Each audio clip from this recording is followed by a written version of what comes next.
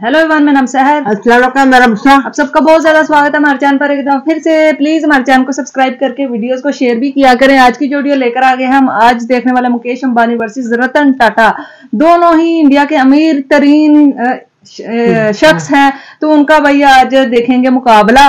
तो प्लीज़ आप इस वीडियो का अंत तक देखेगा चैनल को कर लीजिएगा सब्सक्राइब देखते हैं आज हेलो दोस्तों मैं हूँ फैक्ट भाई और मुकेश अम्बानी और रतन टाटा दोनों की अमीरी के चर्चे किसने नहीं सुने? मतलब जहाँ हस्बैंड एक फूल का खर्चा नहीं करते वहीं मुकेश अम्बानी ने एक नहीं तीन बार अपनी वाइफ को करोड़ों की प्राइवेट जेट गिफ्ट की है। पर प्राइवेट जेट लग्जरी कार्स और अंटीलिया के मालिक अम्बानी के पास सिर्फ़ छह कंपनियाँ हैं। लेकिन रतन टाटा की बात करें तो ये रहते तो बस इतू से बंगले में पर इनके पास 135 से ज़्यादा कंपनियाँ। हैं। तो अब बताओ six versus one thirty five किसकी जेब भारी होगी? वेल इसका जवाब शायद ही है किसी के पास। पर अगर मेरा वीडियो देखा तो क्या पता? आप खुद ही दे दें इसका जवाब। और वैसे तो आज एशिया के सबसे अमीर इंसान का टाइटल मुकेश अम्बानी के पास है। पर अगर रतन टाटा अपनी पूरी दौलत अपने हाथों में ले ले तो वो भी बन सकते हैं एशिया के सबसे अमीर इंसान। लेकिन आखिर वो ऐसा कर क्यों नहीं रहे? तो चलिए, आपके सवालों का जवाब जानने के लिए शुरू करते हैं हमारा इन बिजनेसमैन का पैसे और शो ऑफ़ ऐसी भरा ये सफ़र। मुकेश अम्बानी वर्सेज रतन टाटा। किसका शो ऑफ़ है ज़्यादा? नंबर वन ऐसी थी दोनों की कंपनीज़ की शुरुआत। चलिए सफ़र की शुरुआत करते हैं ट्वेंटी वन थाउज़ेंड रुपीज़ से शुरू हुई एक टेक्सटाइल कंपनी अच्छा से जिसका नेटवर्थ आज पाँच लाख करोड़ हो गया है। लेकिन इक्कीस हज़ार ऐसी पाँच लाख करोड़ तक का ये सफ़र आसान नहीं था क्योंकि 1839 में जमशेद जी का स्ट्रगल 14 साल की उम्र में ही मुंबई से शुरू हुआ था जहाँ से ग्रेजुएशन खत्म करते ही उन पर परिवार की जिम्मेदारियाँ आ गईं, जिन्हें पूरा करने के लिए उन्होंने इक्कीस हज़ार रूपए जोड़कर शुरू किया टेक्सटाइल की ट्रेडिंग का काम। फिर जैसे ही धंधे में पाँव जम गए वैसे ही जमशेद जी ने नागपुर में अपनी पहली टेक्सटाइल मिल शुरू की जहाँ उन पर लक्ष्मी जी की कृपा ऐसी बरसी कि उन्हें धंधे में काफ़ी प्रॉफिट हो गया। बस इसी प्रॉफिट को देख उनका मन तीन ऐसे बड़े प्रोजेक्ट को शुरू करने का हुआ जिसका फ़ायदा सिर्फ़ उनको ही नहीं बल्कि उनके देश के सभी लोगों को मिल सके। हालाँकि इस सपने को पूरा होता देख नहीं पाए थे लेकिन अपने पिता के ही नक्शे कदम पर चलते हुए जमशेद जी के बेटे दोराब जी टाटा ने पिता के आयरन एंड स्टील कंपनी और हाइड्रो इलेक्ट्रिक पावर को स्टेब्लिश कर उनका सपना पूरा किया और साथ ही इंडिया में शुरू किया पहला इंडियन इंस्टीट्यूट ऑफ़ साइंस लेकिन दोस्तों इसे वक्त का सितम कह लो या उम्र का एक पड़ाव। जल्द ही इनका भी देहांत हो गया जिसके बाद 1938 में टाटा ग्रुप की ज़िम्मेदारी जहांगीर रतन जी दादा भाई टाटा ने ली और पुरानी चौदह कंपनियों को चलाते हुए उन्होंने टाटा ग्रुप की कंपनीज़ का आंकड़ा 95 कर दिया था। और इतना ही नहीं इसके साथ ही जे टाटा ने इंडिया की पहली एयरलाइन टाटा एयरलाइन की भी शुरुआत की जिसके बाद उसे गवर्नमेंट ने अपने अंडर लेते हुए उसका नाम एयर इंडिया कर दिया। पर इन सब के बाद तीन पीढ़ियों के नाम और काम को आगे बढ़ाने की ज़िम्मेदारी मिली रतन नवल टाटा को जिन्होंने उसे बखूबी निभाते हुए टाटा इंडस्ट्रीज़ का नाम आज ग्लोबली ऐसा फ़ेमस कर दिया है कि बच्चा बच्चा टाटा के बारे में जानता है और टाटा के साथ काम ज़रूर करना चाहता है। तभी तो कंपनी का नेटवर्थ आज पाँच लाख करोड़ तक जा पहुँचा है। और अब बात करते हैं उस इंसान की जिसकी एक गाड़ी की कीमत में नॉर्मल इंसान बंगला बना लेता है। और सिर्फ़ इतना ही नहीं इन्होंने सिक्स फ्लोर की जो बड़ी पार्किंग अपने घर में छह बनवाई है ना उतनी बड़ी बड़ी बिल्डिंग्स में आधे से ज़्यादा मुंबई की पॉपुलेशन रहती है। यहाँ आपका गेस्ट बिल्कुल सही है। मैं बात कर रहा हूँ अंबानी की। जिनके हाथ में कोई सोने का कटोरा नहीं था और हमारे ही पापा की तरह धीरू भाई अम्बानी ने भी कड़ी मेहनत और सैलरी में मिलने वाले सिल्वर कॉइन्स को जमा कर करके अपना बिज़नेस शुरू किया था। मतलब पैसे जमा होने पर वो विदेश की नौकरी को छोड़कर मुंबई की एक चौल में रहने आ गए। और जैसे तैसे बहुत संघर्ष और मेहनत के बाद धीरू भाई अम्बानी ने रिलायंस कमर्शियल कॉरपोरेशन को शुरू किया जो मसालों और यान्स में ट्रेड करता था। और जैसे ही मसालों और यान के धंधे में वो सेट हो गए वैसे ही उन्होंने विमल नाम से अपने कपड़ों का बिज़नेस भी शुरू कर अच्छा। दिया। पर विमल लोगों को लुभाने में फेल हुआ इसलिए उसको कस्टमर्स का अच्छा रिस्पांस नहीं मिला। जिसके बाद उसके स्टॉक में लोगों से इन्वेस्ट करवाने और उसके स्टॉक को बेचने का काम भी खुद धीरू भाई अम्बानी को करना पड़ा। लेकिन अपने आप में ये काफ़ी बड़ी बात है कि जिस टाइम लोग इन्वेस्ट जानते नहीं थे उस टाइम धीरूभाई अंबानी ने विमल के आईपीओ में लोगों से इन्वेस्ट करवाया था और ऐसी इन्वेस्टमेंट करवाई थी जिसका फ़ायदा कंपनी और इन्वेस्टर्स दोनों को दोनों को भरपूर हुआ। और कुछ ही सालों में 70 करोड़ के रेवेन्यू वाले रिलायंस का रेवेन्यू 2002 में पिछहत्तर हज़ार करोड़। इस रेवेन्यू और बिज़नेस में मिल रहे सक्सेस के चलते रिलायंस इंडस्ट्रीज़ का नाम फॉर्च्यून 500 में शामिल हुआ था। लेकिन शायद धीरू भाई के हिस्से में ही इतनी ही सक्सेस थी। इसीलिए तो उसी साल खराब तबीयत की वजह ऐसी उनकी डेथ हो गई। और उनकी मौत के बाद उनके पूरे बिज़नेस को उनके दोनों बेटे मुकेश और अनिल अंबानी के बीच डिवाइड कर दिया गया। पर दोनों भाइयों के बिज़नेस का तरीका काफ़ी अलग था। इसीलिए जहाँ एक भाई कोर्ट में खुद गवाही दे रहा है कि उसकी नेटवर्थ ज़ीरो हो गई है वहीं मुकेश अंबानी का net worth seven thousand nine hundred thirty crore dollar हो गया है। नंबर टू किसका पैसा है ज़्यादा जिससे होता है उसका फ़ायदा? चलिए अब बात करते हैं इनके आज की, यानी कि दोनों के पैसों की, क्योंकि ये सारी लड़ाई उसी की तो है। क्या आप जानते हैं 88 मिलियन के नेटवर्थ वाले Mukesh Ambani Reliance Retail Reliance Petroleum और रिलायंस जियो जैसी कई कंपनीज़ के मालिक हैं, परंतु वहीं 135 से ज़्यादा कंपनीज़ की सब्सिडरीज होते हुए भी रतन टाटा का नेटवर्थ हमेशा अम्बानी से कम रहा है और कभी कागजों पर दिखाई भी नहीं दिया है। पर आखिर क्यों?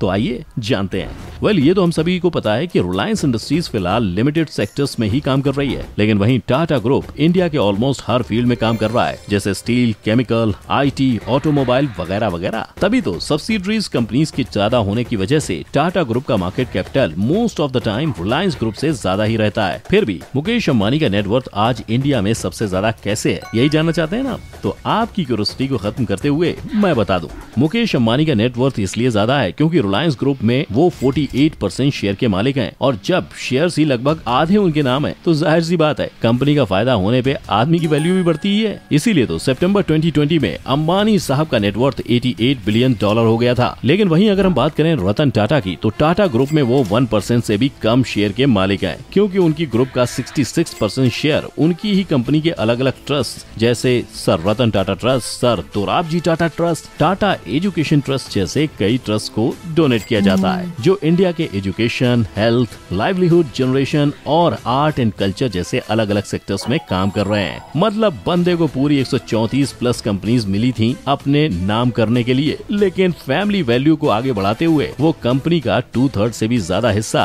देशवासियों के लिए दान कर रहे हैं। इसका मतलब समझ रहे हैं आप? इसका मतलब अगर सिर्फ़ और सिर्फ़ चैरिटी वाले शेयर भी रतन टाटा ने अपने नाम कर लिए होते ना तो शायद आज वो न सिर्फ़ इंडिया के, बल्कि पूरे एशिया के सबसे अमीर आदमी होते। लेकिन दोस्तों, कहीं इसका ये मतलब तो नहीं कि मुकेश अम्बानी सिर्फ़ पेपर्स पर अमीर है, जबकि जेन्युन पैसा रतन टाटा के पास है। ये तो सोचने वाली बात है। नंबर थ्री जैसे खर्चे, वैसे चर्चे।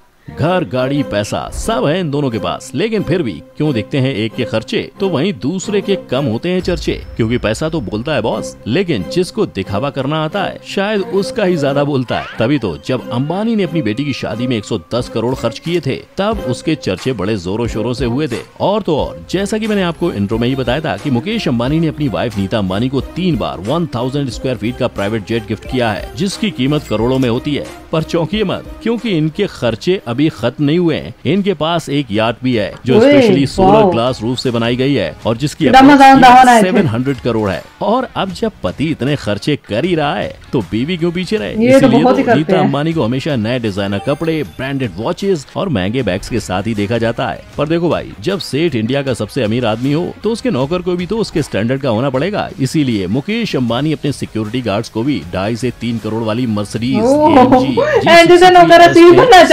घूमते हैं। और तो और अपने एंटीलिया में गर्मियों में स्नोफॉल का मज़ा लेने के लिए इन्होंने उसके लिए अलग से स्नो रूम तक बनवाया है। हम्म। लेकिन वहीं अगर हम रतन टाटा के खर्चों की बात करें तो उनकी आइडियोलॉजी हमेशा से सिंपल लिविंग की रही है। इसीलिए तो उन्होंने आज तक कोई बड़ा खर्चा नहीं करते हुए अपना घर भी काफ़ी सिंपल और एलिगेंट रखा है। साथ ही अपने पैसों को स्टार्टअप में इन्वेस्ट किया है ताकि उनकी कंट्री और कंट्री के लोग दोनों आगे बढ़ सकें। फिर इसके अलावा उनका टाटा हेल्थ केयर खुद को एक्सपेंड करते हुए अब इंडिया के 25 स्टेट्स और यूनियन टेरिटरीज में फैल गया है। और अब तो टाटा ग्रुप अपनी कंपनीज़ की ही तरह सोशल वर्क के हर फ़ील्ड में अपने पैर पसारने लगी है। फिर चाहे वो वाटर सैनिटेशन हो या स्पोर्ट्स या फिर डिजास्टर मैनेजमेंट माइग्रेशन या सोशल जस्टिस ही क्यों ना हो। पर जिस तरह से टाटा ग्रुप लोगों के लिए बिना किसी पब्लिसिटी के काम कर रहा है उससे तो ये साफ़ दिख रहा है कि इनकी वैल्यू और इथिक्स इनके लिए कितने इम्पोर्टेंट है। क्योंकि एक बिजनेसमैन जहाँ अगर एक गुलाब भी खरीद लेता है तो उसकी हवा उड़ने लगती है। मतलब उसकी न्यूज़ बन जाती है। वहीं दूसरा बिजनेसमैन ऐसा है, जिसके पास किसी चीज़ की कमी नहीं है, लेकिन फिर भी वो सोशल वर्क में इतने आगे पहुँच गए हैं, जिसका शायद किसी को पता ही नहीं है। और इसकी वजह है, उनका खुद ये सब काम छुप छुप के करना। पर अब आप ही बताइए, इन दोनों बिजनेसमैन ने